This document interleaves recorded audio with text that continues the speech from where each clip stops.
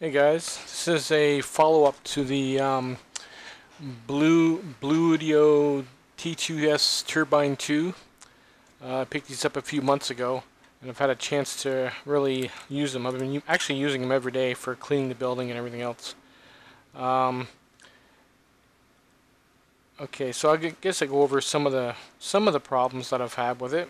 Um, I've had no problems with the battery.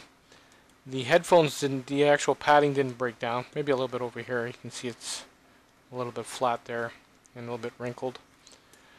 But uh, other than that, mm, there's been no issues with the battery, or the board, or the um, volume pot, or any of the jacks or anything like that. They've been pretty good. One of the issues I had a while ago, about a month ago, is in here.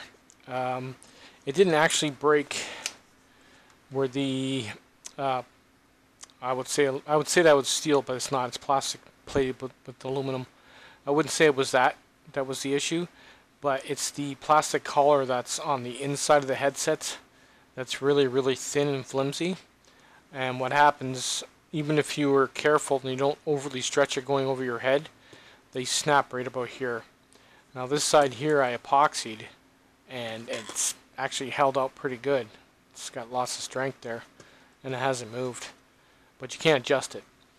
Uh, this side I left so you could adjust it, but this side's now snapped, and as you can see what it's doing. So it sits really loose on the head. The problem with that is when you go to open this up to have a look, which we will do, it'll just fall apart.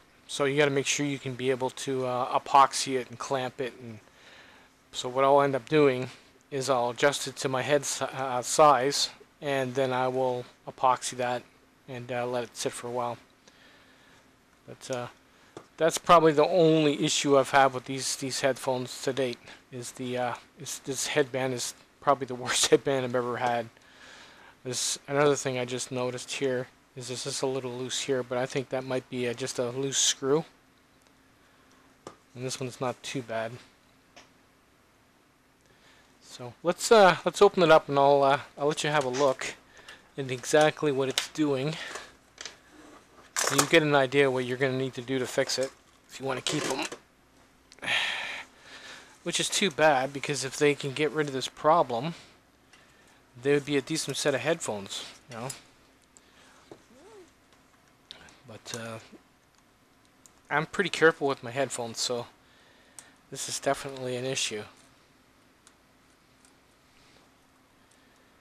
Okay, so we take that, see it's clear plastic. Let's keep slipping this up.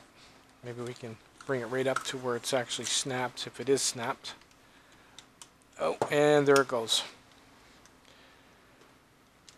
And that's where it snapped.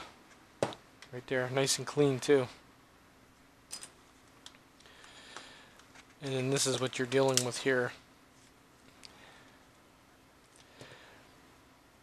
You gotta bring this as far back as you can past the break so you can glue it obviously.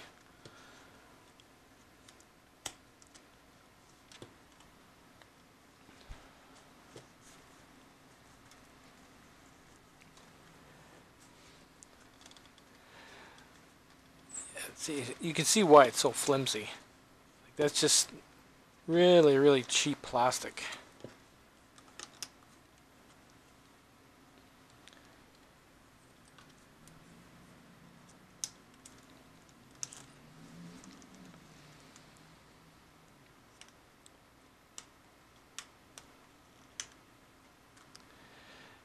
So I'm going to have to glue it in there somehow. and then you just basically do the opposite what I did. Just push this over it and then um, you're good to go. But I'm not sure which way this goes back. If the notch goes in the front like that or if it goes this way here. So I'm just going to try and figure out now before we end this video. I'm guessing it's got to go this way.